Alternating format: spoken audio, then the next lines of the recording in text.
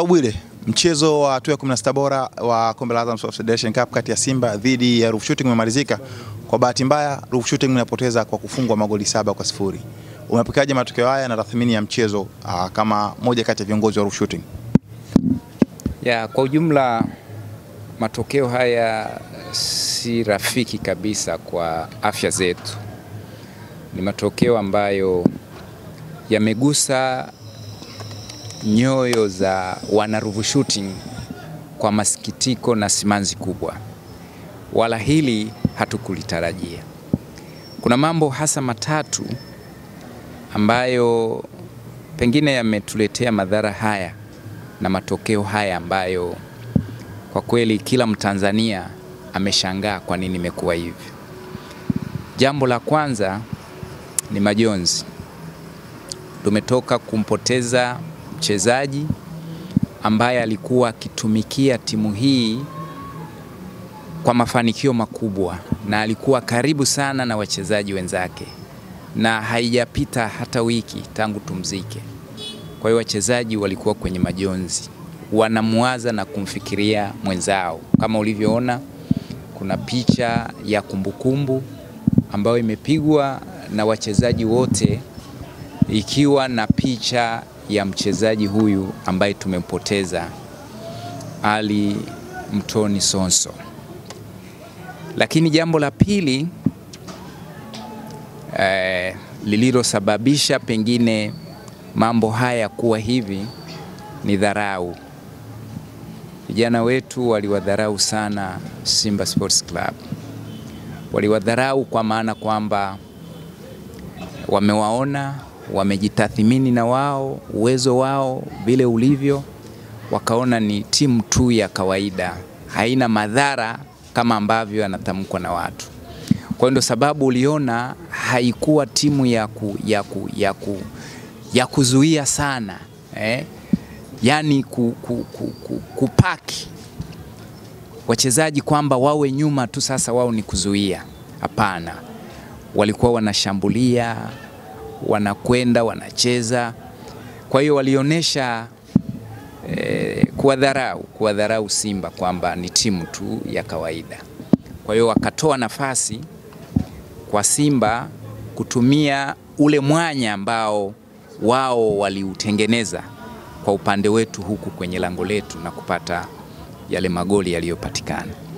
Lakini jambo la tatu ambalo pengine wengine wanaweza wasielewe sana Uh, naweza nikasema sijui nitumie Kiswahili gani ili watu waweze kunielewa vizuri, lakini niseme tu kwamba kuna swala la majira, wakati na ukombozi. Majira, wakati na ukombozi. Kwa yule ambaye atatafakari kwa kina, anaweza akajua kwa nini ninazungumza hivi, na hasa wale e, ambao wamepitapita kwenye maandiko matakatifu wanaweza wakawa wanajua lile tukio la Yusufu. Yusufu, familia yake, ndugu zake e, bila kujua walitaka kumwangamiza, lakini akatokea mmoja kwamba tusimwangamize huyu, tumpeleke utumwani. Yusufu akapelekwa utumwani, lakini baadaye yeye ndiye aliyekuja kuwa msaada na ukombozi kwa familia yake kile kipindi cha njaa.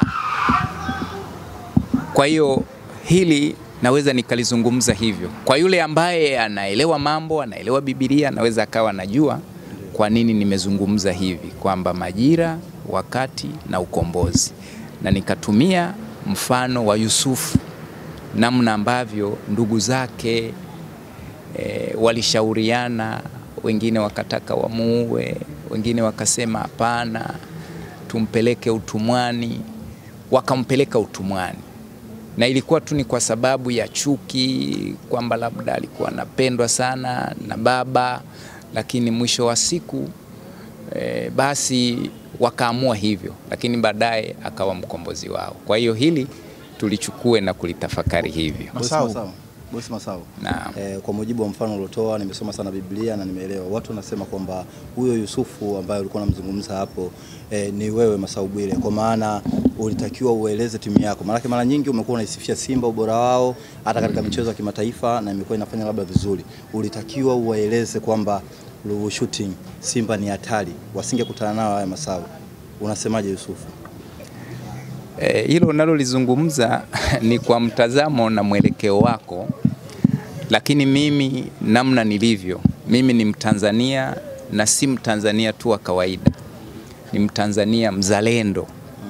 Timu yoyote iwe Simba, iwe Yanga, iwe Azam, iwe Biashara, ikipata fursa ya kushiriki katika mashindano ya kimataifa lazima nisifie na niipongeze. Fuatilia katika kurasa zangu za, za, za mitandao ya kijamii.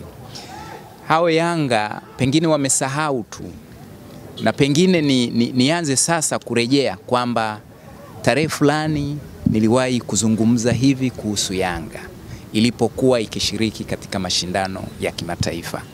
Tarehe fulani niliwahi kuzungumza hivi kuhusu Azam ilipokuwa ikishiriki katika mashindano ya kimataifa.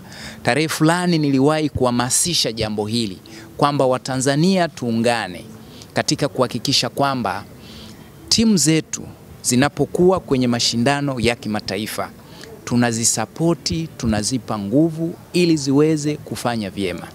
Na pengine katika mfano niliyoutoa wa, wa, wa, wa Yusufu na ukombozi E, muuliza swali nadhani hajanielewa, aende atafakari na aisome Biblia vizuri, alafu baadaye pengine Mwenyezi Mungu anaweza akampa ndoto akaitafsiri vizuri, alafu akaja akawaeleza Watanzania kwamba huyu alipotoa mfano wa Yusufu e, na nduguze kuto kumuua na kumpeleka utumwani, alafu baadaye akaja akawa mkombozi wao kile kipindi cha njaa,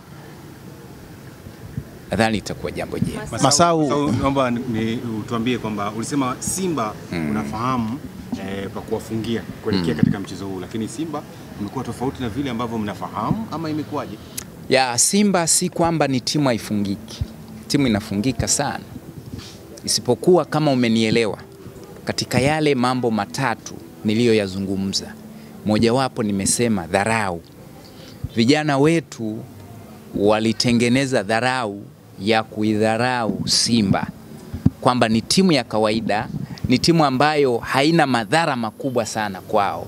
Kwa hiyo wakacheza tofauti na wengine ambavyo wamekuwa wakicheza. Unajua kuna timu hapa zikikutana na Simba wanapaki tu huku nyuma, wanazuia. Sasa sisi huwa hatuzuii, huwa tunajaribu kucheza. Sasa wao katika kucheza walivyocheza, wakajisahau kwamba wanacheza na timu ya aina gani, kwa sababu tulihitaji tucheze, lakini tuhakikishe kwamba lango letu linakuwa salama. Kwa hiyo tulivyosema kwamba sisi tuna hakika ya kwenda kupata matokeo chanya, tulikuwa tunamaanisha, lakini kilichokuja kutuathiri ni hayo mambo matatu. Nirejee, pengine mnaweza mkawa mnasahau. Jambo la kwanza ni, ni, ni majonzi.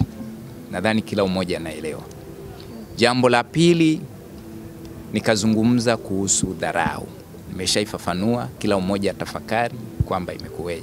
Na jambo la tatu nikasema ni nyakati, majira na ukombozi, na hapo ndipo nilipotolea mfano wa Yusufu. Kama una akili tu nyepesi hivi huwezi kuelewa, lakini kama akili yako inapapasa na ina, ina, ina focus mahala fulani hivi unaweza ukaelewa kwamba hapa tunamaanisha nini. Masau, labda um, somo lako ambalo umetoa la Biblia kuhusiana na Yusufu na kadhalika, labda linafundisha nini na linagusia eneo gani katika Rufu Shooting? Labda tutegemee Rufu Shooting kuja kufanya vizuri, labda na vitu vingine. Uh, hili lililotokea leo nimesema limeumiza mioyo ya wana Ruvu Shooting na Watanzania kwa ujumla. Nikikuonesha simu zilizopigwa hapa wengine wakisikitika, wengine wakitoa pole, wengine wakisema imekuweje, kwa sababu hatujawahi kuona Ruvu Shooting ambayo tunaifahamu ikafanya hiki ambacho kimefanyika kwa siku hii ya leo. Lakini wengine ndo hivyo wanasema sasa tufanye nini, kwa sababu ni timu ambayo inagusa Watanzania na Watanzania wanaifuatilia. Lakini katika hali hii kwa kweli tumeumia na watu wameumia, wameumia sana, na ndio sababu nikakueleza kwamba haya mambo huwa sio kwamba yanakuwa ya kudumu. Sisi sasa hivi tumeshukuru kwamba mchezo huu umeisha. E, lengo letu ilikuwa ni tufike mbali kwenye mashindano haya, lakini isivyo bahati tumetolewa kwa sababu ni mashindano ya mtoano. Hizi goli saba zisiwatishe sana, sababu hata Brazili wenyewe siku ya fainali zingezidi pale, ningesema sasa hii imekuwa ni hatari, lakini hata Brazili wenyewe tena wakiwa nyumbani kama hivi leo, sisi tulikuwa nyumbani, mchezo wetu ulikuwa nyumbani, japo tumecheza hapa, lakini walifungwa goli saba. Kwa hiyo ni kitu ambacho kwenye soka huwezi ukakikwepa. Kikubwa ambacho sasa hivi tunapambana nacho, tunarudi kujipanga kwa ajili ya ligi. Kwenye ligi hatuko katika mstari mzuri sana e, lakini tuna hakika na tuna imani kwamba tunakwenda kufanya vyema. Tuna mchezo tarehe ishirini, tunasafiri kwenda Mbeya kukutana na Tanzania Prisons katika uwanja wa Sokoine ndani ya jiji la Mbeya. Haya yaliyotokea, mwalimu atayatumia mapungufu kurekebisha kikosi ili tutakapofika Mbeya basi hiki ambacho kimewaondoka uh, baadhi ya mashabiki wetu na kuona kwamba pengine timu yetu namna gani vipi, basi kiweze kurekebishwa na hatimaye waamini kwamba ni hali tu ilitokea, na pengine katika hayo matatu niliyoyataja yalisababisha matokeo hayo kuwa hivyo, lakini kikosi kiko imara. Masau. Ah, labda ujasiri au jeuri ya Ruvu Shooting ya kuidharau Simba umetolewa wapi? Wakati Simba ah, mechi ya thelathini mbili bora dhidi ya Dar City alimfunga goli sita, lakini akacheza na Sekima Mosa mechi yake ya juzi akamfunga goli tatu kwa moja Aa, na leo amekupiga goli saba. Labda ujasiri wenyewe waliupata wapi wa kuidharau Simba ambayo ilikuwa inafanya vizuri? Unajua, timu kuifunga timu fulani sio kwamba lazima iifunge na timu nyingine, lakini pia ubora na uchezaji wa timu unatofautiana kwa namna ambavyo uh, mwalimu alikuwa amekiandaa kikosi chake, kwa namna ambavyo wachezaji e, walikuwa wame, wame, wame, wame, wameendana na kile alichokuwa ameelekeza mwalimu katika mazoezi yao, na namna ambavyo walitazama klabu ya Simba. Ilitosha kabisa kujiamini kwamba tunakwenda kufanya nini, kwa sababu mwalimu anaelekeza na anaisoma timu anayokwenda kukutana nayo na anaonyesha ni wapi madhara yalipo na nini tufanye ili kuhakikisha kwamba sisi tunapata ushindi. Na si tu hivyo, timu yetu siku zote imeonekana kuwa bora na imeonekana ikiwa inacheza vyema na Watanzania wameonekana pia kuifuatilia kutokana na ubora wake. Sasa ukiongeza na namna ambavyo mwalimu na namna alivyokuwa amekisoma kikosi na alivyokitengeneza kikosi na namna ambavyo wachezaji waliperform kwenye mazoezi, basi hatukuwa na sababu ya woga kwamba tunakwenda kukutana na kitu ambacho hakiwezekaniki. Kwa namna hiyo na namna ya mazoezi yalivyokuwa yakienda na namna ambavyo mwalimu aliwajenga vijana na vijana walivyokuwa wamehamasika, ilitosha kabisa kujiamini na kuamini kwamba tunakwenda kupata matokeo chanya. Masau